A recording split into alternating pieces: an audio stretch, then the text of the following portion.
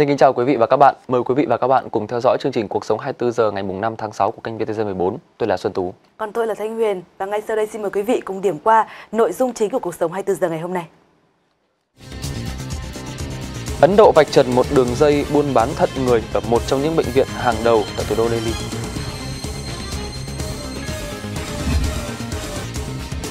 Nắng nóng gay gắt trong những ngày qua khiến lượng điện tiêu thụ trên địa bàn thành phố tăng kỷ lục. Bình Thuận dọn dẹp bãi biển Mũi Né sau khi một du khách nước ngoài chia sẻ trên trang cá nhân của mình tình trạng bừa bãi và mất vệ sinh tại đây.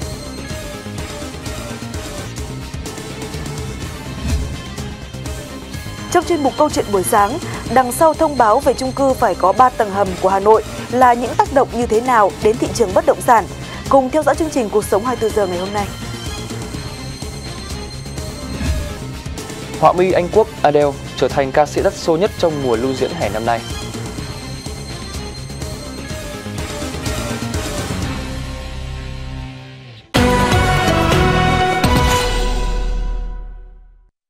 Thưa quý vị, hưởng ứng Ngày Môi trường Thế giới mùng 5 tháng 6 với chủ đề Tiếng gọi thiên nhiên và hành động của chúng ta, tối qua ngày 4 tháng 6, Bộ Tài nguyên và Môi trường phối hợp với Hội Cựu chiến binh Việt Nam, Hội người cao tuổi Việt Nam và Ủy ban nhân dân tỉnh Lào Cai đã tổ chức lễ phát động tháng hành động vì môi trường.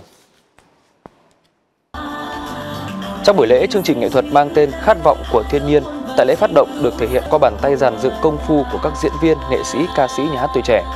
Các tác phẩm nghệ thuật được hình tượng hóa, nhân cách hóa nhằm lột tả những tâm tư tình cảm, nguyện vọng của một thế giới thiên nhiên đang bị tàn phá hủy hoại bởi chính bàn tay con người. Qua đó dấy lên hồi chuông cảnh tỉnh đối với toàn nhân loại.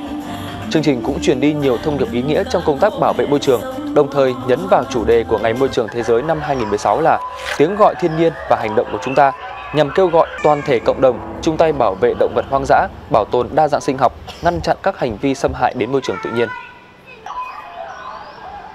Về Ngày Môi trường Thế giới năm 2016 là tiếng gọi thiên nhiên và hành động của chúng ta nhằm truyền cảm hứng cho toàn nhân loại hướng tới các hành vi sống thân thiện với môi trường, giảm thiểu áp lực ngày càng gia tăng đối với các hệ sinh thái tự nhiên của trái đất. Thông qua đó, vì huy động sự nỗ lực của toàn thể cộng đồng hướng tới ngăn chặn tình trạng buôn bán trái phép động vật hoang dã và đã và đang làm suy kiệt tài nguyên đa dạng học đe dọa sự sống của các loài động vật trên thế giới. Phát biểu tại lễ phát động, Phó Thủ tướng Trịnh Đình Dũng cho rằng đây là một hoạt động hết sức có ý nghĩa nhằm huy động sự tham gia của cả hệ thống chính trị, của xã hội và của nhân dân trong cả nước. Để thực hiện thành công và có hiệu quả công tác bảo vệ môi trường, cần phải bảo vệ môi trường từ những hành động nhỏ nhất, thiết thực nhất và gần gũi nhất. Lễ phát động tại Lào Cai là chương trình mở màn cho chuỗi các hoạt động bảo vệ môi trường trong tháng hành động vì môi trường do Bộ Tài nguyên và Môi trường tổ chức như cuộc thi nước và cuộc sống, chương trình trồng cây vì một Việt Nam xanh và lễ trao đèn năng lượng mặt trời, đào tạo chuyên môn nghiệp vụ cho cán bộ quản lý môi trường khu vực đồng bằng sông Hồng. Ngoài ra lễ phát động được tổ chức tại Lào Cai cũng nhằm ý nghĩa hướng tới kỷ niệm 25 năm thành tái thành lập tái lập tỉnh Lào Cai năm du lịch quốc gia 2017 tại tỉnh Lào Cai.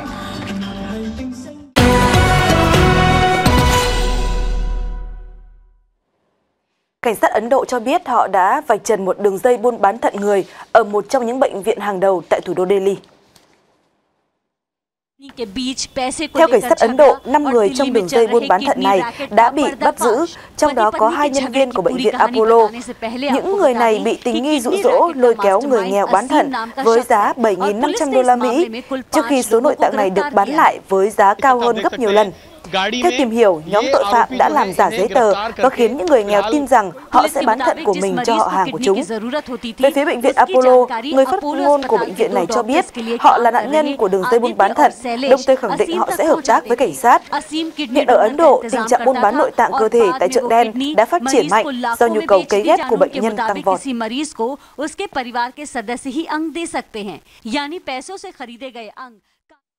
Hãng tin BBC vừa cho biết, người lướt sóng bị mất chân trong một vụ cá mập tấn công tại miền Tây Australia hồi tuần trước đã qua đời. Nạn nhân là anh Ben Jering, 29 tuổi, đã bị cá mập tấn công vào thứ ba tuần trước khi đang lướt sóng ở gần Mandurah, phía nam thành phố Perth. Theo cảnh sát miền Tây Australia, chấn thương của anh này là quá nặng và đã không qua khỏi. Được biết cách đây 3 ngày, người dân đã bắt được một con cá mập trắng dài 4,2 mét nhưng không rõ đây có phải là con cá mập đã tấn công Jering hay là không. Hiện lực lượng chức năng tại Mandurah đã phát đi cảnh báo tới người dân sau khi một số loài cá mập được nhìn thấy trong vùng. Ngày hôm qua, các máy bay chiến đấu của Mỹ từ Địa Trung Hải đã tiến hành những đợt không kích ngày thứ hai liên tiếp vào các mục tiêu của nhà nước Hồi giáo tự xưng IS. Những máy bay chiến đấu này xuất phát từ tàu sân bay USS Harry S. Truman ở phía đông Địa Trung Hải. Chi tiết của các đợt không kích không được Hải quân Mỹ thông báo, nhưng một ngày trước đó đã có những đợt không kích nhằm vào các mục tiêu tại Syria. Đây là những đợt không kích đầu tiên từ một tàu sân bay của Mỹ trên Địa Trung Hải kể từ khi chiến dịch chống lại IS bắt đầu cách đây 2 năm. Trước đó, những đợt ném bom do Mỹ và quân đồng minh thực hiện chủ yếu từ tàu sân bay ở vùng vịnh hay ở các căn cứ quân sự tại Bahrain, Thổ Nhĩ Kỳ và những nước khác. Theo Hải quân Mỹ, thì họ đã có kế hoạch tấn công vào nhiều mục tiêu quan trọng của IS trong những ngày tới, đặc biệt là trong thời điểm quân đội Syria đã tiến gần tới tỉnh Raqqa, thủ phủ của IS. Na Uy đã trở thành quốc gia đầu tiên trên thế giới cam kết không phá rừng, đồng thời dành ngân sách cho các dự án bảo vệ rừng trên toàn thế giới và hỗ trợ người dân tại vùng rừng. Theo ông News Herman Ranum, người đứng đầu ban chính sách và chiến dịch của quỹ Rainforest Foundation Norway, đây là một thắng lợi quan trọng trong việc bảo vệ rừng nhiệt đới. Nhiều năm qua, quỹ này đã vận động chính phủ Na Uy thực hiện cam kết là không phá rừng. Hiện nay họ cũng đang kêu gọi nhiều nước khác có hành động tương tự, đặc biệt là Đức và Anh, hai quốc gia vào năm 2014 ở Hội nghị Thượng đỉnh Liên Hợp Quốc về biến đổi khí hậu đã ra tuyên bố chung cùng Na Uy về thúc đẩy bảo vệ rừng thông qua những chuỗi cung cấp các sản phẩm không liên quan đến rừng. Theo Hiệp hội Địa địa lý Quốc gia Mỹ, với tỷ lệ phá rừng như hiện nay thì các cánh rừng nhiệt đới sẽ biến mất chỉ trong vòng 100 năm nữa. Đây chính là lý do giải thích tại sao năm 2008, Na Uy từng hỗ trợ Brazil khoản tiền 1 tỷ đô la Mỹ để bảo vệ rừng Amazon.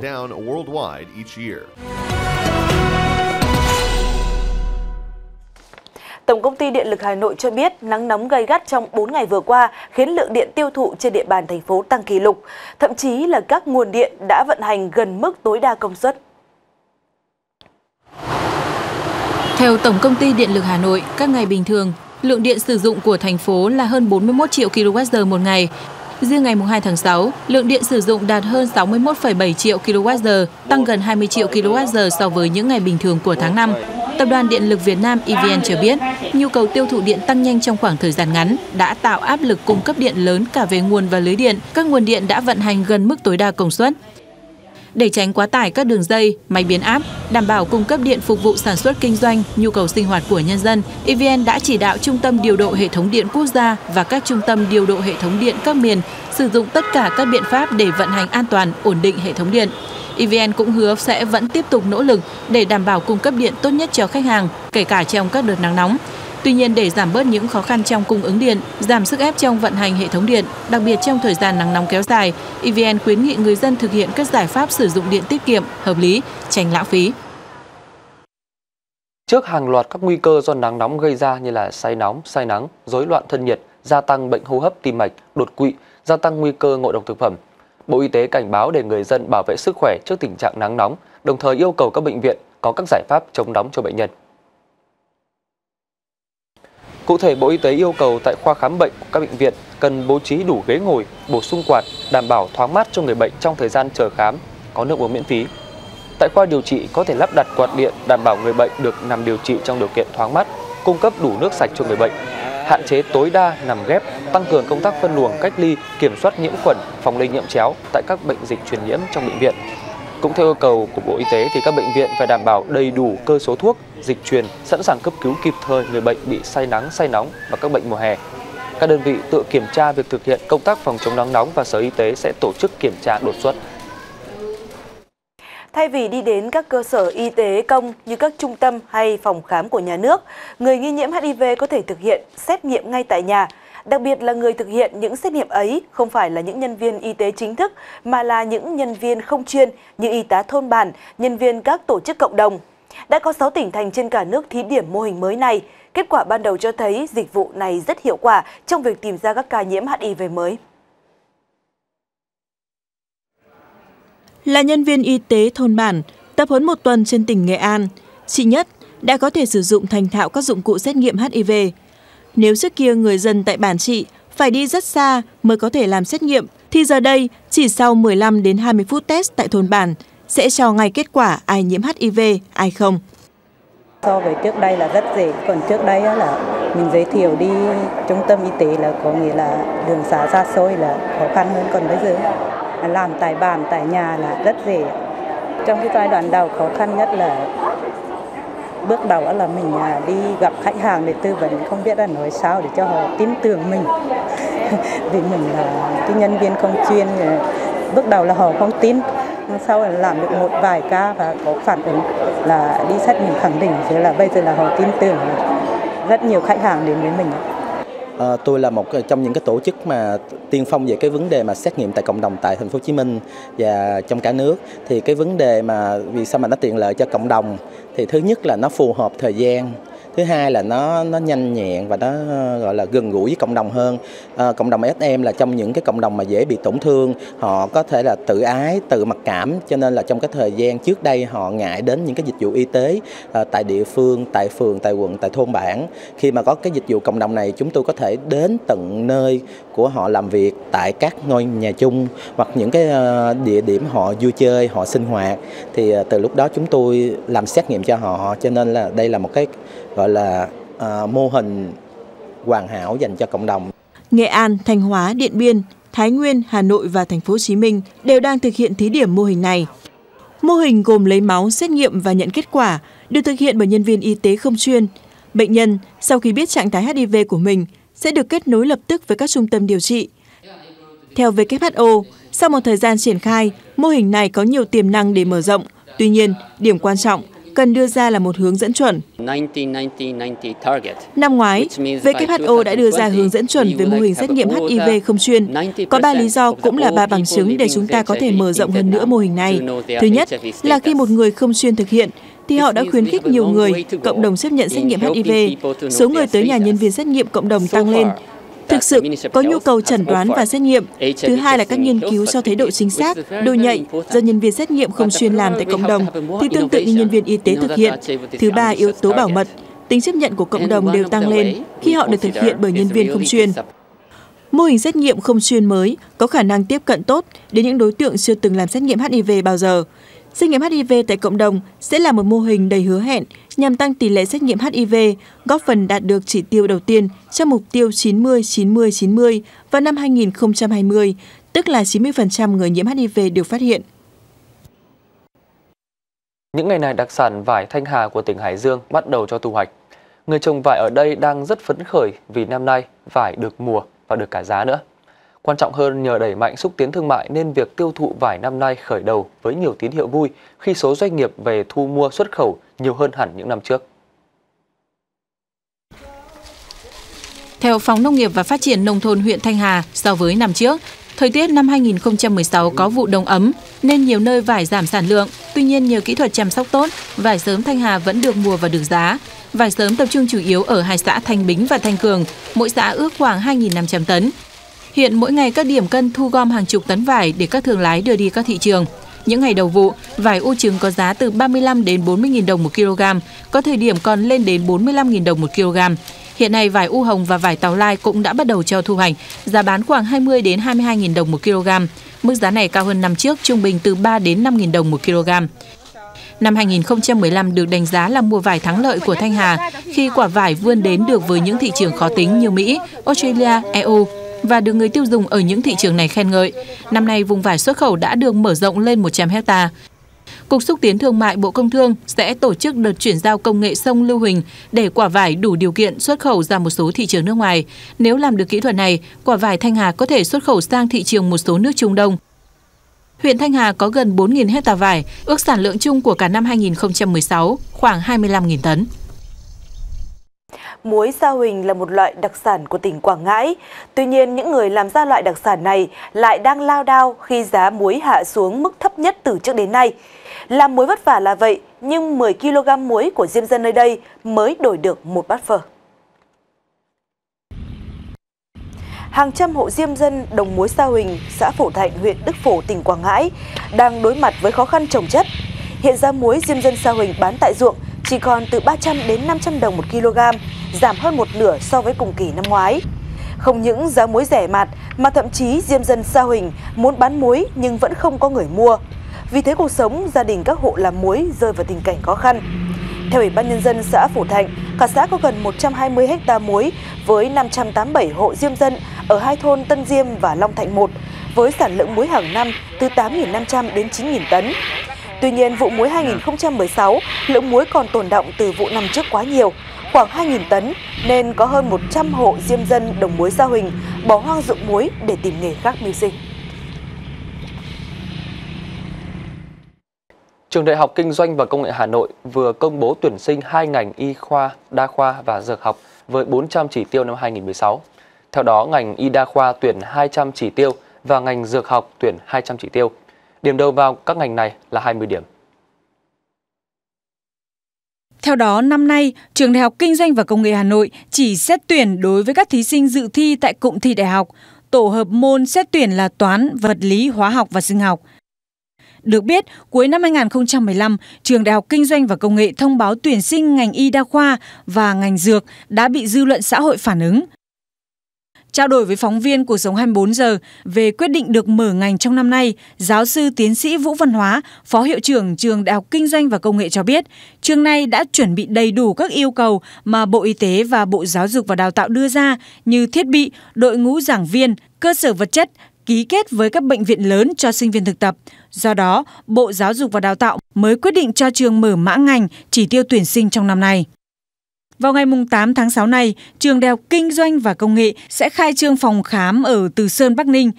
Được biết, vào mùa tuyển sinh năm 2015, Đại học Kinh doanh và Công nghệ Hà Nội là một trong những trường khó tuyển sinh. Ở đợt xét tuyển thứ hai, trường còn chỉ tiêu tuyển sinh cao nhất nước với hơn 4.200 cho hệ đại học và 450 cho hệ cao đẳng. Ngày 4 tháng 6, Sở Dục và Đào tạo Hà Nội tổ chức hội nghị hướng dẫn coi thi tuyển sinh vào lớp 10 trung học phổ thông năm học 2016-2017. Hội nghị có sự tham gia của đại diện ban giám hiệu các trường trung học phổ thông, những người sẽ đi làm nhiệm vụ trưởng điểm thi, phó trưởng điểm thi tại các điểm thi trên địa bàn thành phố trong kỳ thi tuyển sinh lớp 10 trung học phổ thông sẽ diễn ra vào ngày 8 tháng 6 tới đây. Năm nay, khoảng 81.500 học sinh lớp 9 xét tốt nghiệp trung học cơ sở tham gia dự tuyển vào lớp 10 năm học 2016-2017, chưa kể thí sinh tự do. Tại hội nghị, đại diện Phòng Quản lý thi và Kiểm định chất lượng giáo dục, Sở Giáo dục và Đào tạo Hà Nội cho biết, năm nay cần rút kinh nghiệm so với kỳ thi năm ngoái. Năm học trước, nhiều sai sót đã xảy ra, như cán bộ coi thi quên không ký tên vào bài thi của thí sinh, quên không cho cả phòng thi ký tên vào giấy thu bài hoặc có cả trường hợp hai cán bộ coi thi không ký tên, không chốt trang cuối. Sở Giáo dục và Đào tạo chỉ đạo các điểm thi cần tăng cường đảm bảo an ninh, đảm bảo về cơ sở vật chất cho các phòng thi. Đáng lưu ý là tường rào, cổng trường thi phải đảm bảo an toàn. Phòng thi phải đủ ít nhất 24 chỗ ngồi, kích thước phù hợp với thí sinh và đảm bảo giữ khoảng cách giữa các thí sinh theo hàng ngang không dưới 1,2 mét. Phương thức tuyển sinh vào Trung học phổ thông 2016-2017 vẫn như năm trước là kết hợp thi với xét tuyển trên 12 khu vực tuyển sinh, bao gồm tuyển sinh các khối lớp 10 chuyên và không chuyên. Hiện nay, thành phố Hà Nội có hơn 150 điểm thi trung học phổ thông, 360 phòng thi, 49 điểm thi trung học cơ sở và gần 10.000 cán bộ và giáo viên coi thi. Trong quá trình coi thi, các điểm thi phải có báo cáo nhanh tình hình coi thi bằng điện thoại về ban điều hành và kiểm tra thi của Sở Giáo dục và Đào tạo Hà Nội đúng thời gian quy định từ ngày 9 đến 10 tháng 6. Nằm ở xã Gia Tân, huyện Gia Viễn, tỉnh Ninh Bình, Đình Vân Thị được coi là báu vật của người dân trong xã. Năm 1699, vua Lê Hy Tông đã cho xây dựng lại đình để tưởng nhớ công lao của Thái sư Tô Hiến Thành, người có công phò tá hai vua Lý Anh Tông và Lý Cao Tông. Tuy nhiên đến nay công trình này đang bị xuống cấp nghiêm trọng. Qua, qua hơn 300 năm tồn tại với sự tàn phá của chiến tranh, thiên tai, hiện đình bị xuống cấp nghiêm trọng. Tiền đường của đình ngoài đang bị bỏ hoang, nhiều tường nứt toác từ chân lên tới ngói, vội vữa bong chóc loang lổ để lộ cả gạch đỏ bên trong. Nền nhà ẩm ướt rêu mốc phủ kín từng viên gạch. Mái ngói nhiều nơi bị vỡ vụn xếp chồng lên nhau. 24 cột gỗ lim chống đỡ mái đang bị mục rỗng. Mỗi lần có mưa là đình ngập nước, khiến cho nền vốn đã thấp, khi ngâm nước lâu ngày lại càng ẩm ướt hơn. Nếu không tu sửa kịp thời, ngôi đình có thể đổ sập bất cứ lúc nào, nhất là trong mùa mưa bão tới. Trong hai cuộc kháng chiến của dân tộc, ngôi đình là nơi gặp gỡ của nhiều cán bộ cách mạng. Vì có vị trí quan trọng, đình trở thành mục tiêu bắn phá của máy bay giặc và hứng chịu hàng chục quả bom. Mang nhiều giá trị lịch sử, văn hóa, kiến trúc, năm 2006, Bộ Văn hóa Thể thao và Du lịch đã xếp hạng Đình Vân Thị là di tích văn hóa cấp quốc gia. Cách đây vài ngày, Oksana Pavlova, một du khách Nga đăng trên trang Facebook cá nhân của mình hình ảnh bãi biển Mũi Né Bình Thuận ô nhiễm với rác thải ngập tràn. Qua dòng chia sẻ, Oksana Pavlova mong muốn các cơ quan chức năng của Việt Nam sớm vào cuộc xử lý để trả lại bờ biển sạch cho Mũi Né, nơi được rất nhiều du khách Nga lựa chọn khi đến du lịch ở Việt Nam. Ngay sau đó, Ủy ban Nhân dân tỉnh Bình Thuận đã chỉ đạo các cơ quan chức năng xử lý triệt để rác thải ngập trên bãi biển Mũi Né. Rất nhiều du khách nước ngoài đã cùng với đoàn thể chính quyền địa phương tiến hành dọn dẹp để sớm trả lại vẻ đẹp cho bãi biển này. Vào mùa cá Nam từ tháng 4 đến tháng 8 hàng năm, do ảnh hưởng của gió mùa Tây Nam, sóng biển đưa một lượng lớn rác thải tập kết về khu vực này. Tuy nhiên, năm nay lượng rác thải quá lớn, gấp 3 lần mọi năm và kéo dài hơn 1.200 mét bờ biển, dày cả nửa mét, thật sự là một thách thức lớn. Do vậy, rất nhiều du khách khi có mặt ở Mũi Né đã cùng chung tay để xử lý rác. Ngoài ra, lãnh đạo tỉnh Bình Thuận cũng đã tổ chức kiểm tra, đánh giá thực trạng công tác quản lý, tổ chức các hoạt động tắm biển, vui chơi, ăn uống, an ninh trật tự và vệ sinh môi trường tại khu vực đồi Dương, Thương Chánh. Qua đó nghiên cứu đề xuất hình thức quản lý, nâng cao chất lượng các hoạt động trong thời gian đến, bảo đảm an toàn, văn minh, thân thiện cho du lịch tại khu vực này. Xem đây là việc làm thí điểm để nhân rộng cho các điểm du lịch cộng đồng khác trên địa bàn thành phố Phan Thiết cũng như của cả địa phương này. Thưa quý vị, thiên tài chỉ có 1% là tài năng thiên bẩm, 99% còn lại là sự nỗ lực. Nhưng nếu chỉ có 1% thiên tài mà không có sự nỗ lực chăm chỉ thì làm sao mà có thành công? Và trong phần điểm sách tuần này, chúng tôi giới thiệu đến quý vị và các bậc phụ huynh bộ sách rèn luyện kỹ năng sống dành cho học sinh thiên tài. Đây là bộ sách rất đáng đọc dành cho các em. Bộ sách này do công ty Minh Long phát hành cũng sẽ cung cấp những bài học về tinh thần lạc quan, cách suy nghĩ tích cực, tự cổ vũ bản thân. Bộ sách rèn luyện kỹ năng sống dành cho học sinh gồm 3 cuốn, 27 bài học tự cổ vũ bản thân, 27 bài học về tinh thần lạc quan và 78 bài học suy nghĩ tích cực để thành công. Mỗi cuốn sách là một vấn đề mà các bậc cha mẹ cần phải biết để là một điểm tựa vững chắc cho con cái khi gặp khó khăn, giúp con tìm ra vấn đề tồn tại, từ đó có định hướng đúng đắn để con đi đến thành công. Mỗi cuốn sách như là một câu chuyện trải nghiệm của các nhân vật với chuyện xung quanh ta, trưởng thành cùng người nổi tiếng, trắc nghiệm tâm lý, thí nghiệm nhỏ, chạm xăng 5 phút. Cuốn 27 bài học tự cổ vũ bản thân, vấn đề đối với con cái, đó là tại sao các bạn đều không chơi với mình. Mình có phải là đứa trẻ tệ nhất thế giới không? Mình thực sự, thực sự rất ghét cậu ấy, làm trẻ con thật là khổ, sao mình mong lớn nhanh đến thế? Những câu chuyện nhỏ xung quanh các nhân vật như Văn Long, Trúc Giang, Hà Giang, Văn Trương sẽ đưa các bạn nhỏ vào trong từng tình huống của cuộc sống, trường lớp để từ đó có những bài học về tự cổ vũ, nỗ lực vượt lên chính bản thân mình, xóa đi những tự ti, e dè, nhút nhát. Còn cuốn 27 bài học về tinh thần lạc quan, các nhân vật Đức Long, Thanh Giang, Nam Phong sẽ chia sẻ những câu chuyện về tình bạn chân thành, chia sẻ trách nhiệm, lòng dũng cảm và quan trọng hơn là phương pháp học tập tích cực. Những câu chuyện nhỏ thú vị trong cuốn sách như nóng này là ma quỷ, vết bỏng trên miệng, hứng thú là người thầy tốt nhất, dũng cảm bắt kẻ trộm cây, cung cấp rất nhiều trò chơi tương tác liên quan tới tinh thần lạc quan, giúp trẻ cảm nhận được niềm vui trong học tập cũng như trong cuộc sống, đồng thời cũng nắm bắt được nhiều cơ hội thành công. Cuối cùng là cuốn 78 bài học về suy nghĩ tích cực để thành công. Các bạn trẻ sẽ có 78 nguyên tắc cơ bản dẫn đến thành công, được chia thành 4 phần. Đó là tích cực cầu tiến, khai thác sức mạnh bản thân, lập tức hành động, luôn duy trì sức hút. Cũng trong cuốn sách, bạn sẽ được trải nghiệm thành công của những người nổi tiếng để giúp con bạn hiểu thêm những tố chất cần có của một người thành công. Qua những nguyên tắc này, chúng ta không nên nghĩ rằng thành công ở quá xa, cũng đừng nghĩ rằng thành công quá dễ dàng. Chỉ sau khi thực sự phấn đấu vì việc bản thân muốn làm, bạn mới cảm nhận được niềm vui mà thành công mang lại.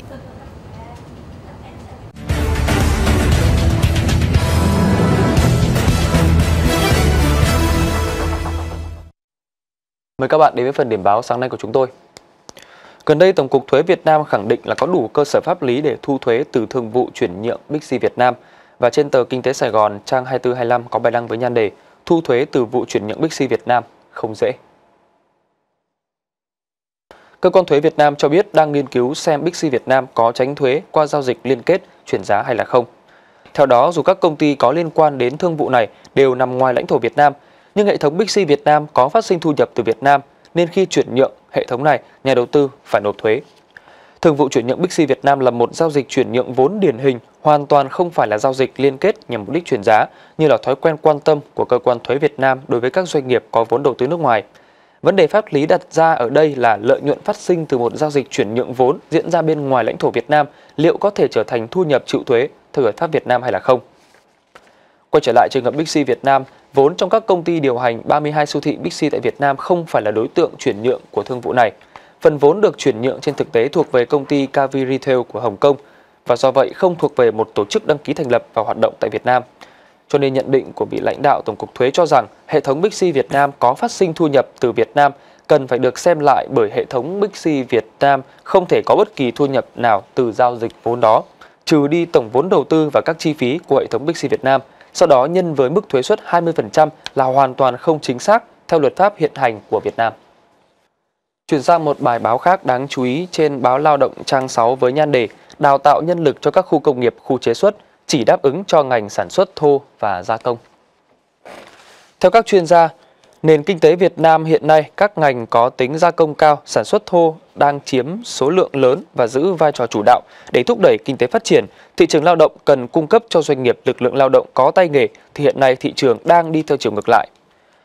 Theo bản tin cập nhật thị trường lao động quý 1 năm 2016 do Bộ Lao động Thương binh Xã hội cùng Tổng cục Thống kê công bố mới đây, cả nước có 1.072 triệu người trong độ tuổi lao động thất nghiệp.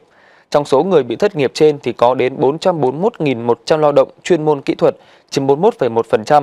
Đáng chú ý là số lượng người có trình độ đại học trở lên cũng bị thất nghiệp rất nhiều, khoảng 191.000 người, trình độ cao đẳng chuyên nghiệp gần 119.000 người trong khi tỷ lệ thất nghiệp của những cử nhân thạc sĩ lao động có chuyên môn kỹ thuật nhiều đến mức rất đáng lo ngại, thì nhóm lao động không có trình độ chuyên môn kỹ thuật lại có tỷ lệ thất nghiệp rất thấp, 1,75%. Bên cạnh cung cầu của thị trường lao động chưa gặp nhau, việc đào tạo nhân lực cho các khu công nghiệp, khu chế xuất cũng gặp rào cản chính là tiền lương. Nhiều ý kiến cho rằng chính việc không chăm sóc tốt cho người lao động, trả lương thấp ở các doanh nghiệp khiến cho họ không gắn bó lâu dài với doanh nghiệp Chính sách bảo hiểm thất nghiệp thì đang đi chệch hướng khi mà hiện nay quỹ bảo hiểm thất nghiệp chủ yếu là để chi trả trợ cấp thất nghiệp cho người lao động mà chưa làm được công tác đào tạo để người lao động quay trở lại thị trường lao động với một công việc tốt hơn và trình độ cao hơn. Người Sài Gòn đi làm ở tỉnh là nhan đề bài phản ánh của nhóm phóng viên Vũ Thủy và Như Tâm đăng tải trên trang 20 trang 21 báo Tuổi Trẻ. Trong khi người lao động khắp các tỉnh thành phố đổ về thành phố Hồ Chí Minh làm ăn sinh sống thì không ít người sinh sống ở tại thành phố Hồ Chí Minh lại lựa chọn việc làm ở các tỉnh lân cận. Những chuyến xe đưa rước cán bộ, nhân viên các công ty xuất phát từ những ngã tư, ngã sáu Sài Gòn, tỏa đi khắp nơi đến Bình Dương, Đồng Nai, Bà Rịa Vũng Tàu, Long An. Nơi làm việc là các khu công nghiệp cách thành phố Hồ Chí Minh từ 30 đến 60 km. Gần 7 giờ sáng, anh Chín, 37 tuổi, ngụ ở quận Bình Thạnh, chạy xe máy đến gửi xe gần chân cầu vượt hàng xanh, rồi tất bật ra đường Điện Biên Phủ chờ xe công ty tới đón. Vừa chờ xe, anh vừa kể rằng anh làm trưởng phòng tại công ty Crown của Mỹ ở khu công nghiệp Tam Phước, Biên Hòa, Đồng Nai. Trước đó anh làm ở khu công nghệ cao quận 9 thành phố Hồ Chí Minh nhưng đã chuyển sang công ty mới vì vị trí cao hơn, đãi ngộ tốt hơn. Anh Chín giải thích nhà cửa ở thành phố, vợ đang làm việc ổn định trong một công ty tại quận 1 các con học hành môi trường tốt nên không chuyển xuống gần công ty mà chọn đi đi về về. Nói về xu hướng di chuyển lao động, ông Trần Anh Tuấn, Phó Giám đốc Trung tâm Dự báo Nhu cầu Nhân lực và Thị trường Lao động Thành phố Hồ Chí Minh cho biết, việc di chuyển lao động tại các nước rất phổ biến. Còn ở tại Thành phố Hồ Chí Minh, gần đây nhiều người lao động, đặc biệt là người trẻ, đã chấp nhận di chuyển xa, mở rộng tìm kiếm việc làm. Thưa quý vị, chạy đua làm giàu với thực phẩm chức năng là nhan đề đang bài đăng đáng chú ý trên thời báo Kinh tế Sài Gòn trang 31, 32 và 33. Trước nhu cầu lớn từ thị trường, hiện nay hầu hết doanh nghiệp sản xuất thực phẩm, dược phẩm đều hướng đến sản xuất kinh doanh thực phẩm chức năng. Nhưng với hiện tượng trăm hoa đua nở, có ý kiến cho rằng thị trường này đang có hiện tượng chụp giật, có thể dần đánh mất lòng tin của người tiêu dùng. Theo thông tin từ công ty cổ phần Dược Hậu Giang, Doanh thu mà công ty này thu được là khoảng 228 tỷ đồng vào năm ngoái, chiếm 6,3% tổng doanh thu toàn công ty. Báo cáo kết quả kinh doanh hợp nhất của năm 2014 cũng à, cho thấy là trong số 18 công ty con có tới 15 công ty kinh doanh thực phẩm chức năng. Công ty dược phẩm Chavaco cũng cho biết tiếp tục đầu tư nghiên cứu phát triển các sản phẩm bổ não, bổ gan mà doanh nghiệp đã rất thành công khi tung ra thị trường. Bên cạnh đó, các nhóm dược phẩm có nguồn gốc thiên nhiên mang dáng dấp của thực phẩm chức năng như hoạt huyết dưỡng não, Boganic cũng mang về doanh thu hàng năm gần 700 tỷ đồng. Ngoài ra, rất nhiều công ty dược khác của Việt Nam cũng đang đầu tư nhà xưởng, vùng trồng nguyên liệu và nghiên cứu sản phẩm để cho ra đời nhiều sản phẩm mới đáp ứng nhu cầu của thị trường. Có ý kiến thì cho rằng thị trường thực phẩm chức năng đang cạnh tranh khốc liệt và hỗn loạn, chất lượng thì khó kiểm soát. Theo một cán bộ của Cục An toàn Thực phẩm, mặc dù không phải là thuốc nhưng hiện nay rất nhiều loại thực phẩm chức năng trên thị trường đều ghi rõ thành phần giống như là những bài thuốc cổ truyền. Theo đó, khi dùng các thực phẩm chức năng dạng này một cách thường xuyên, người dùng đã đưa vào một lượng thuốc thảo dược đều đặn vào cơ thể mà không biết rõ mức độ phù hợp và không kiểm chứng được có tác dụng phụ hay là không. Trên trang 8 và trang 9 của báo Tuổi Trẻ đăng tải bài viết của phóng viên Dương Thị Hoàng Anh với nhan đề tự chọn bắt buộc. Trong dự thảo chương trình giáo dục phổ thông tổng thể mà Bộ Giáo dục và Đào tạo vừa công bố, thì một trong những nét đáng lưu ý là xác định các môn tự chọn và bắt buộc. Trong cấu trúc chương trình giáo dục của phần lớn cơ sở giáo dục tại những nước tiên tiến, kể cả bậc phổ thông và đại học, phần tự chọn đóng một vai trò rất quan trọng với giáo viên, trợ giảng, tư vấn, phương tiện phục vụ hỗ trợ giảng dạy chặt chẽ. Nhiều nhà nước không chủ trương có một chương trình thống nhất cho toàn quốc mà mỗi một trường, kể cả công lập và tư thục, đều có tính tự chủ và độc lập rất cao. Kể cả chương trình giảng dạy, đánh giá, cấp bằng kiểm định chất lượng và kinh phí, mỗi trường đều tự quyết một hướng đi riêng và tự chịu trách nhiệm về sản phẩm đào tạo. Một số trường tính khối lượng kiến thức cần học theo môn và trường khác lại tính theo tín chỉ. Ở Việt Nam thì trong những năm học gần đây, đặc biệt là trong khối đại học và các chương trình liên kết với nước ngoài, bên cạnh các môn học bắt buộc sẽ có danh sách môn học tự chọn. Tuy nhiên trong rất nhiều trường hợp, Chúng được liệt kê dưới tiêu đề là môn học lựa chọn với chú thích sinh viên chọn môn tự chọn.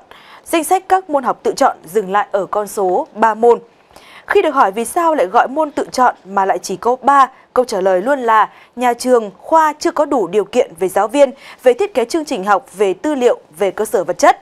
Một số trường cũng đã gọi hiện tượng này là tự chọn cứng, đối lập với tự chọn mềm. Cuối cùng sẽ là một bài viết về mảng văn hóa với nhan đề Bộ phim làm thay đổi hình ảnh của Madonna.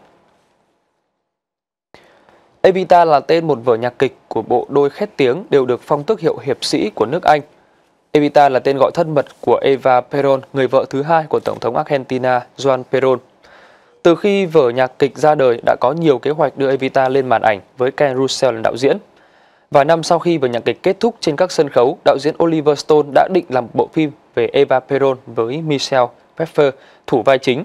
Tuy nhiên, sau một vài lần bất đồng ý kiến thì kế hoạch này đã không thành công. Mãi đến năm 1995, hãng Synergy Pictures quyết tâm đưa Evita lên màn ảnh với kinh phí thuộc loại khủng, khi đó là 55 triệu đô và mời Alan Parker làm đạo diễn. Ồn ào nhất là việc chọn ai là thủ vai chính Eva Peron. Trong không khí chọn vai sôi động nhưng lại không ai màng đến Madonna, lúc đó đang ở đỉnh cao với ngôi vị nữ hoàng nhạc pop, một người từ lâu đã xem Eva Peron là thần tượng. Lợi thế lớn nhất để Madonna có được vai này là cô may mắn lôi kéo được sự ủng hộ của Andrew Lloyd Webber. Ông và Rice đã bán bản quyền Evita nhưng vẫn được quyền phê chuẩn về phân vai. Ngay từ năm 93, khi biết Madonna nỗ lực bằng mọi giá để có thể có được vai diễn này, thì Andrew Lloyd Webber từng nói trước rằng đợi đến lúc bộ phim được chính thức sản xuất, e rằng cô sẽ quá già để đóng Evita. Và ở phần tiếp theo của chương trình, trong chuyên mục Câu chuyện buổi sáng, đằng sau thông báo về chung cư phải có 3 tầng hầm của Hà Nội là những tác động như thế nào đến thị trường bất động sản.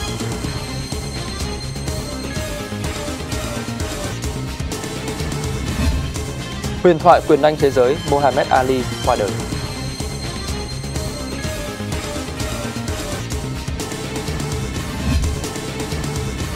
Họa mi Anh quốc Adele trở thành ca sĩ đắt xô nhất trong mùa lưu diễn hè năm nay.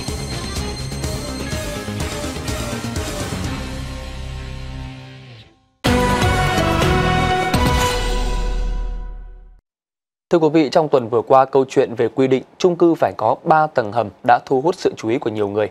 Lý do là bởi chỗ đỗ xe, đặc biệt là với xe ô tô tại chung cư, đang là vấn đề nổi cộm khi mà người dân sở hữu xe 4 bánh đang ngày càng tăng. Trong khi đó, thiết kế ban đầu của nhiều dự án thì chỉ có một tầng hầm, nên chỗ đỗ ô tô luôn thiếu trầm trọng. Theo quy định mới thì các dự án xây dựng công trình khu đô thị, trung tâm thương mại khi mà xây dựng nhà cao tầng trên địa bàn thành phố Hà Nội bắt buộc phải có tối thiểu là 3 tầng hầm để tăng cường chỗ để xe cho người dân, hạn chế áp lực về chỗ để xe cho toàn thành phố. Vâng, ngay sau đó thì Hiệp hội Bất động sản Việt Nam đã có ý kiến cho rằng quy định này có nhiều điểm bất cập, đặc biệt là không nêu rõ quy mô, vị trí, tính chất công trình, dự án như ở nội đô, ngoại thành hay nhà ở xã hội, nhà ở thương mại. Điều này gây khó khăn trong quá trình áp dụng, gây ách tắc toàn bộ hoạt động đầu tư các dự án bất động sản trên địa bàn thành phố. Và đây cũng sẽ là nội dung mà câu chuyện buổi sáng ngày hôm nay gửi tới quý vị. Nhưng trước hết, chúng ta sẽ cùng dạo qua một số khu chung cư ở Hà Nội để cùng xem là chỗ để xe của người dân đang như thế nào. phơi nắng, phơi mưa do thiếu chỗ để xe. Đó là thực trạng chung của hàng trăm chiếc xe máy của người dân tại khu chung cư Linh Đàm. Đi vào hoạt động mới được hơn một năm nay, nhưng vì mỗi tòa chung cư ở đây chỉ có một tầng hầm để xe, trong khi đó lại có tới hơn 800 hộ dân sinh sống. Do vậy, tầng hầm chỉ có thể đáp ứng được chỗ cho khoảng 400 đến 500 xe máy, số còn lại buộc phải phơi ngoài trời. tầng hầm là quá chật. Xe là cứ phải để trên vỉa hè. Mà xe quá cũ nát rồi mình bắt đầu mới đến đây mua thì là mua xe con mình à, xe mới. Bây giờ cứ để ngoài nắng chang chang vì hầm quá chật luôn còn tại tòa nhà chung cư sông Hồng Parkview Thái Hà, mặc dù đã thiết kế có 3 tầng hầm, nhưng chỗ đỗ xe thì vẫn cứ thiếu. Dưới tầng hầm thì chật cứng và dễ hiểu khi xe lại đỗ tràn lan trên vỉa hè như thế này. Khó chịu và bức xúc của người dân ở đây khi mà về, bạn thấy là nhất là cái mùa hè nóng bức như thế này mà khi mà đi làm về mà mình đi vòng quanh cả ba tầng hầm, không có một cái chỗ đỗ xe nào. Trước tình trạng này, mới đây, Sở Quy hoạch Kiến trúc Hà Nội đã có thông báo số 1823 về việc bố trí tối thiểu 3 tầng hầm để xe và xây dựng nhà vệ sinh công cộng tại các công trình, khu đô thị, trung tâm thương mại, còn có 3 vấn đề bất cập đến các cơ quan liên quan. Tuy nhiên, ông Trần Ngọc Chính, Chủ tịch Hội Quy hoạch thành phố Hà Nội cho rằng, với tình trạng thiếu chỗ đỗ xe trầm trọng như hiện nay, quy định mỗi chung cư, khu đô thị phải có 3 tầng hầm gửi xe vào lúc này là cần nhưng chưa đủ. Hệ thống đỗ xe tĩnh kể cả trên mặt bằng cũng như là trong các công trình cao tầng để rất thiếu chỗ đỗ xe. Do đó cho nên là ờ, người dân ấy, người ta có xe người ta đỗ trên đường rất là nhiều. Và bãi đỗ xe tĩnh cũng không có do đó cho nên rất ảnh hưởng đến chuyện đỗ xe và vào giờ cao điểm thì đường phố gần như tắc nghẽn. Quan điểm của tôi thì ờ, nếu như là chỉ ra một cái quyết định như thế thì là cũng là cần thiết. Nhưng mà theo tôi là không đủ cần mà lại chưa đủ Việc giải quyết chỗ để xe cho thủ đô là cần thiết. Tuy nhiên, với tình trạng phương tiện giao thông cá nhân của Hà Nội đang gia tăng chóng mặt như hiện nay, thì cho dù các chung cư có xây dựng một tầng hầm hay ba tầng hầm thì vẫn cứ thiếu chỗ để xe. Xem ra thông báo 1823 của Sở Quy hoạch Kiến trúc Hà Nội về việc bố trí tối thiểu 3 tầng hầm để xe ở các chung cư vẫn chưa thể giải quyết rốt ráo vấn đề này ở Hà Nội. Vâng, chưa biết thông báo về quy định các khu chung cư phải xây 3 tầng hầm để xe của Sở Quy hoạch Kiến trúc Hà Nội có giải quyết được bài toán chỗ để xe hay không. Nhưng ngay lập tức thông báo này đã nhận được những phản hồi từ cộng đồng doanh nghiệp bất động sản, đã có những lo ngại về sự tăng giá của các công trình xây dựng trong thời gian tới. Một số tập đoàn xây dựng thì lại có ý kiến đồng tình với chủ trương của Hà Nội nhằm góp phần giải quyết sự thiếu hụt về giao thông tĩnh trên địa bàn thành phố, mà trước hết là cho chính các dự án cao tầng hiện nay. Tuy nhiên chủ trương là thiết thực nhưng không nhất thiết phải là 3 tầng hầm mà cần phải có quy định cho từng loại dự án. Mời quý vị cùng tiếp tục theo dõi ghi nhận ý kiến của một số doanh nghiệp và chuyên gia trong lĩnh vực bất động sản để hiểu rõ hơn về câu chuyện này. Theo tiêu chuẩn quy hoạch Việt Nam 323 năm 2004 thì cứ 9 tầng nổi sẽ phải có một tầng hầm. Tuy nhiên trên thực tế, không phải chủ đầu tư nào cũng thực hiện được điều này. Chính vì vậy, quy định nhà cao tầng phải bố trí đủ chỗ để xe cho người dân là chủ trương hết sức đúng đắn và kịp thời. Tuy nhiên thay vì bắt buộc các chủ đầu tư phải xây dựng 3 tầng hầm, nhiều ý kiến cho rằng nên chăng chỉ cần yêu cầu doanh nghiệp đáp ứng đủ nhu cầu để xe cho cư dân của tòa nhà. Thay vì 3 tầng hầm, người ta mình chỉ cần yêu cầu họ đáp ứng đủ cái chỗ mà đỗ xe cho cư dân trong tòa nhà và những cái à, đơn vị đến làm việc. Uhm, như như vậy là tôi cho rằng là đủ bởi vì chúng ta có thể đưa nó lên tầng 2, tầng 3, tầng 4, tầng 5 theo tính toán của nhiều chủ đầu tư, để xây một tầng hầm, chi phí sẽ tăng lên hệ số khoảng 1,1. Và càng tăng tầng hầm thì hệ số chi phí sẽ tăng càng nhiều hơn. Nếu một công trình mà phải sử dụng đến 3 tầng hầm thì uh, có thể là cái hệ số chi phí đầu tư nó sẽ tăng lên khoảng 1,3 đến 1,5 lần. Thì như vậy cũng là một cái đội giá thành. Đối với những cái khu chung cư hoặc là khu thương mại mà cách xa trung tâm mà xây tầng hầm bây giờ thì nó đội giá lên rất cao.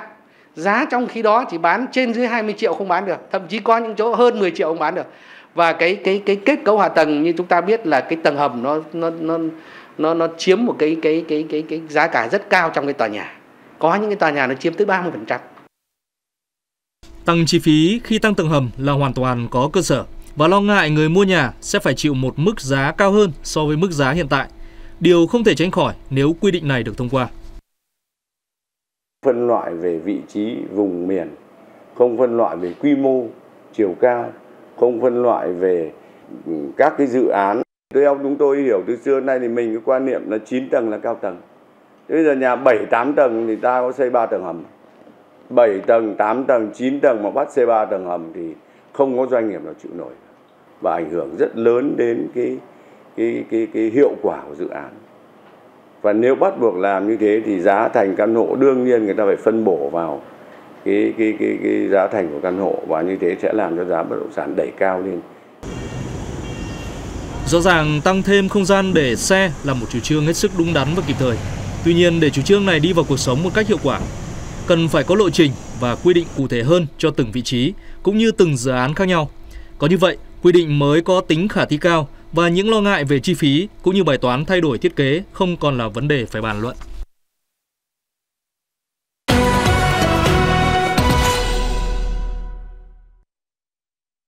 Và tiếp theo chương trình, như thường lệ xin mời quý vị và các bạn hãy cùng chúng tôi điểm qua thông tin về các sự kiện đáng chú ý dự kiến diễn ra trong ngày hôm nay, ngày 5 tháng 6. Ngày hôm nay, lễ dân hương dân hoa Chủ tịch Hồ Chí Minh sẽ diễn ra tại Bảo tàng và Công viên Tượng đài Chủ tịch Hồ Chí Minh.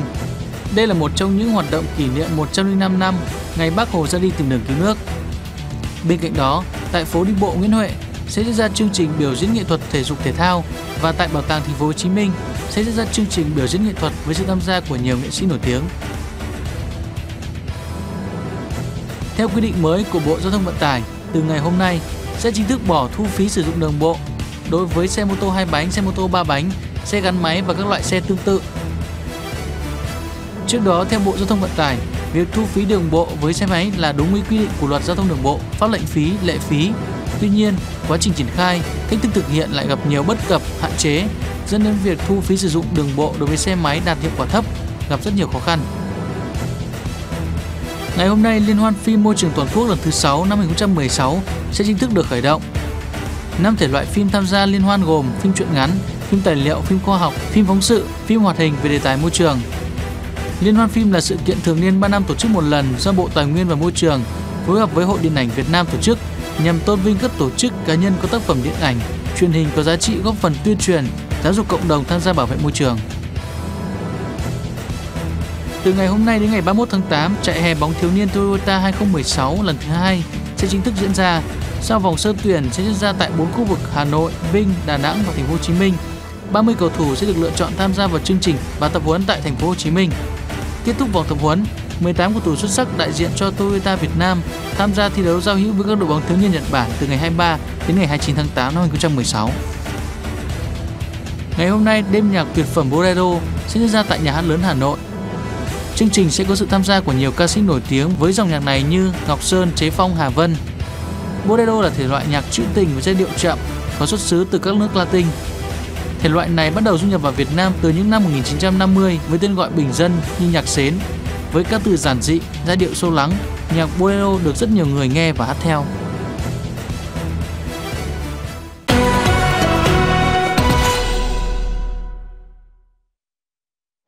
Là một quốc gia có dự trữ dầu thô lớn nhất thế giới và sau hơn một thập kỷ phát triển thịnh vượng, Venezuela vừa phải ban hành tình trạng khẩn cấp kinh tế khi lạm phát ở mức 300%, dự trữ ngoại tệ bốc hơi một nửa, kịch bản vỡ nợ cận kề, tình trạng thiếu hụt lương thực trầm trọng đến mức báo động. Không chỉ có vậy, đất nước này còn đang đau đầu đối mặt với khủng hoảng thuốc men trầm trọng nhất từ trước đến nay.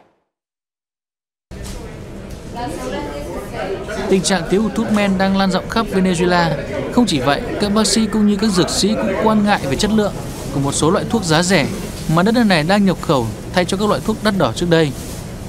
Nhiều bệnh nhân, đặc biệt là những bệnh nhân trẻ em mắc bệnh bạch cầu cũng không có dấu hiệu hồi phục dù đang được điều trị tích cực tại các bệnh viện hàng đầu của đất nước như bệnh viện ở thủ đô Caracas. Sức khỏe là một vấn đề quan trọng. Vậy mà chúng ta lại đang phải đối mặt với tình trạng thiếu hụt thuốc men nghiêm trọng như hiện nay. Điều này không chỉ xảy ra với một vài hiệu thuốc, mà đó là tất cả. Do ảnh hưởng từ khủng hoảng kinh tế và thâm hụt ngân sách, chính quyền đã buộc phải cắt giảm ngân sách cho y tế, đặc biệt là việc nhập khẩu thuốc men. Theo đó, cuộc khủng hoảng thuốc men ngày càng trầm trọng, từ thuốc kháng sinh cho tới tất cả các loại vaccine. Không chỉ vậy, cơ sở hạ tầng y tế cũng đang xuống cấp nghiêm trọng. Nhiều bác sĩ đã rời bỏ bệnh viện công hay thậm chí là chuyển sang nước khác để sinh sống và làm việc. Theo đó, hàng ngàn người dân Venezuela đang tiến hành hàng loạt các cuộc biểu tình trên khắp đất nước, đồng thời phải chống chọi với một điều kiện cuộc sống tệ nhất từ trước đến nay. Uống bia nhiều tất nhiên sẽ phải đi vệ sinh và ở Đức thì người ta đã có ý tưởng kết hợp giữa việc đi vệ sinh và công nghệ trở thành trò chơi. I'm Paul. And this Xin chào, tôi là Paul và đây là Pispat. Đó là lời giới thiệu của nhà phát minh người Đức Paul Sponagel cùng với sản phẩm mới của anh, Pispat. Với thiết bị này, Sponagel đã biến một thói quen nhàm chán của cánh đàn ông mỗi khi nhậu nhẹt là đi vệ sinh trở thành một thói quen mang tính giải trí. Theo đó, Pispat kích hoạt với dòng nước tiểu bắn ra và khiến nó hoạt động như một con chuột máy tính. Mọi người có thể hình dung nó như một con chuột, nghĩa là nó sẽ xuất hiện ở những vị trí mà nước tiểu xuất hiện trên lưới điều khiển và mỗi một vị trí được kết nối với một thiết bị Bluetooth. Điều tuyệt vời là ứng dụng của PSPAT được sử dụng ở nhiều trò chơi, từ bóng đá tới bóng bàn. Còn nếu người chơi muốn có đối thủ so tài, anh ta có thể chơi với bạn nhậu đi vệ sinh bên cạnh hoặc ở đâu đó trên thế giới, miễn là có nối mạng. Hiện Sponagel đã phát động chiến dịch quyên tiền và hy vọng có đủ ngân sách để sản xuất PSPAT hàng loạt.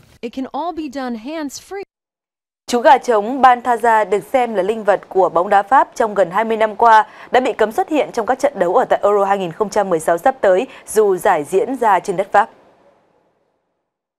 Ờ,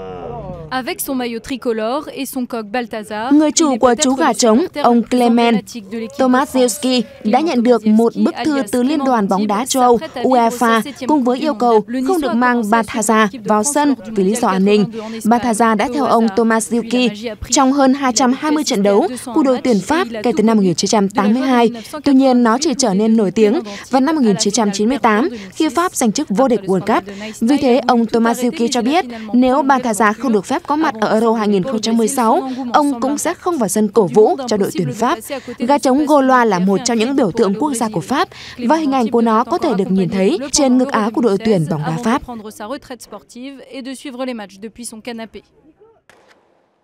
Huyền thoại quyền Anh hạng nặng của nước Mỹ, đồng thời là một nhà hoạt động nhân quyền nổi tiếng, Muhammad Ali đã vừa qua đời ở tuổi 74 tại một bệnh viện ở Phoenix, bang Arizona của Mỹ, sau thời gian chống chọi với căn bệnh hô hấp cũng như căn bệnh Parkinson lâu năm.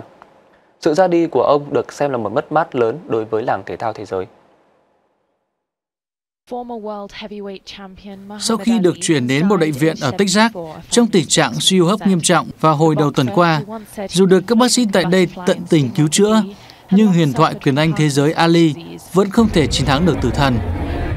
Tang lễ của võ sĩ huyền thoại này sẽ được tổ chức tại bang Kentucky, quê hương của ông. Sự ra đi của Ali đã để lại nỗi đau mất mát quá lớn cho gia đình, bạn bè cũng như tất cả người hâm mộ ông trên toàn thế giới. Bạn có nghe thấy không Ali? Tôi và tất cả mọi người đều yêu quý bạn. Sẽ chẳng có ai có điều gì để nói xấu về người đàn ông tuyệt vời này cả. Dù là một người xa lạ đi chăng nữa, thì Ali cũng sẽ khiến bạn phải yêu quý anh ấy mà thôi. Bởi vì anh ấy luôn yêu quý tất cả mọi người. Không chỉ là một võ sĩ quyền Anh nổi tiếng, Ali còn là một nhà hoạt động nhân quyền tuyệt vời. Ông ấy luôn khiến cho các fan hâm mộ yêu quý ông ấy bằng chính tình cảm chân thành của mình. Tôi từng chứng kiến ông ấy dành tới 4 giờ đồng hồ chỉ để ký tặng các fan hâm mộ. Muhammad Ali bắt đầu sự nghiệp quyền Anh của mình khi mới 12 tuổi. Cả cuộc đời sự nghiệp của mình, Ali đã giành cả một khối giải thưởng khổng lồ với những chuỗi trận đấu bất bại. Những người hâm mộ còn yêu ái đặt trong biệt danh là The Greatest, nghĩa là người vĩ đại nhất. Muhammad Ali sinh ngày 17 tháng 1 năm 1942 tại vùng Louisville, Kentucky. Ông được xem là một trong những võ sĩ quyền Anh nổi tiếng và có ảnh hưởng lớn nhất trong lịch sử. 4 năm sau sự ra đi của nữ ca sĩ huyền thoại Whitney Houston, những vật dụng của cô như là trang phục biểu diễn, giải thưởng và các món đồ kỷ niệm đã được đem ra bán đấu giá. Hơn 100 món đồ kỷ niệm gắn liền với cuộc đời và sự nghiệp của nữ ca sĩ Whitney Houston sẽ được đem ra bán đấu giá tại Beverly Hills, California trong hai ngày 24 và 25 tháng 6 tới. Những vật dụng và đồ kỷ niệm trong 30 năm của nữ ca sĩ tài năng nhưng yểu mệnh này, trong đó có các giải thưởng, trang phục biểu diễn sẽ được bán với giá ban đầu từ 2.000 đến 10.000 đô la Mỹ. Trong tuyên bố của mình, quản lý cho Houston, Chủ tịch Điền Trang Whitney Houston Estate và cũng là chị dâu Pat Houston cho biết, chúng tôi cảm thấy đây là thời điểm thích hợp để giới thiệu những món đồ thuộc về Whitney tới người hâm mộ cô ấy. Houston là một trong những ca sĩ nhạc pop nổi tiếng nhất thế giới. Trong 30 năm sự nghiệp, cô đã bán ra được hơn 170 triệu album, đĩa đơn, video. Năm 2012, người ta tìm thấy cô đã chết trong bồn tắm ở một khách sạn tại Beverly Hills lúc cô 48 tuổi. Sau các anh chị em như Michael và Janet, Tito Jackson là người cuối cùng trong 9 anh em nhà Jackson có bản hit solo đầu tiên xuất hiện trên bảng xếp hạng âm nhạc Billboard, đó là ca khúc Get It Baby. Trong hơn 45 năm qua, nhà Jackson đều có thành viên có tên trên bảng xếp hạng những ca khúc hay nhất của Billboard. Bắt đầu là năm 1971 với bài Got to Be There của Michael Jackson ở vị trí thứ 89 trong top 100 và trong những thập kỷ sau đó là Joey, Maureen, Sigmund, Jeremy, Latoya, Janet Jackson. Cho đến năm 1989, 8 trong 9 anh chị em nhà Jackson đã có bài hát trên bảng xếp hạng những ca khúc hay nhất của Billboard. Mặc dù vậy thì cũng phải đợi tới năm 2016, thành viên cuối cùng nhà Jackson mới xuất hiện trên bảng xếp hạng Billboard. Theo đó thì vào ngày hôm qua, ca khúc Get It Baby của Tito đã đứng ở vị trí thứ 29 tại hạng mục R&B. Dĩ nhiên, nhà Jackson cũng thực hiện những dự án âm nhạc cùng nhau như nhóm Jackson 5 đã có bản hit như I Want You Back, ABC, The Love You Save và I'll Be There. Được tiếp sức bởi album 25 đã bán ra hơn 19 triệu album kể từ cuối năm ngoái đến nay. nên ca sĩ người Anh Adele đã dẫn đầu các show diễn trong hè cả về số lượng lẫn doanh thu. Và dự kiến trong tháng 7 tới đây, Adele bắt đầu tour lưu diễn Bắc và Trung Mỹ tại Mỹ, Canada và Mexico.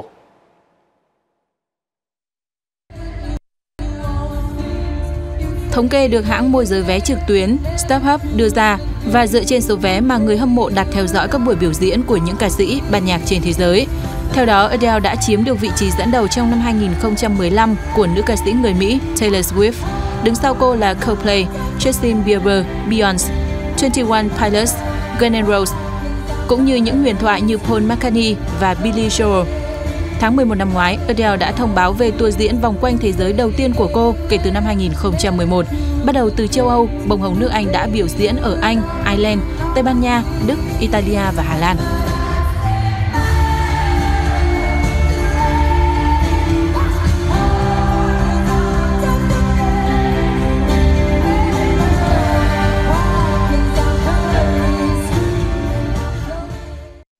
Những ngôi sao của bộ phim cổ tích Train and Trance mới đây đã tụ hội về thủ đô London của nước Anh để tham dự buổi ra mắt lần đầu tiên của bộ phim tại thành phố xinh đẹp này. Bộ phim cũng như các diễn viên đã nhận được sự đón chào nồng nhiệt từ phía khán giả London.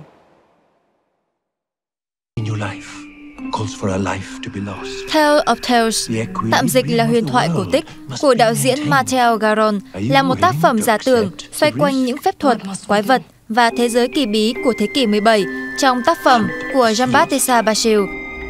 Với sự góp mặt của những ngôi sao điện ảnh nổi tiếng như Salma Hayek, Vincent Cassel và Toby Jones, bộ phim hứa hẹn mang tới cho khán giả những cảnh quay mang đậm nét cổ tích và hấp dẫn. Tại buổi ra mắt, nữ diễn viên Salma Hayek, người thủ vai nữ hoàng Long Charles, cũng chia sẻ về vai diễn mới của mình. Tôi là một fan hâm mộ trung thành của Mattel và bộ phim của ông ấy đã giúp biến giấc mơ của tôi trở thành sự thật. Tôi thật sự hạnh phúc khi nhận vai diễn này. Bộ phim cổ tích Tale of Tales dự kiến sẽ chính thức công chiếu ở Anh và Ireland vào ngày 17 tháng 6 tới đây.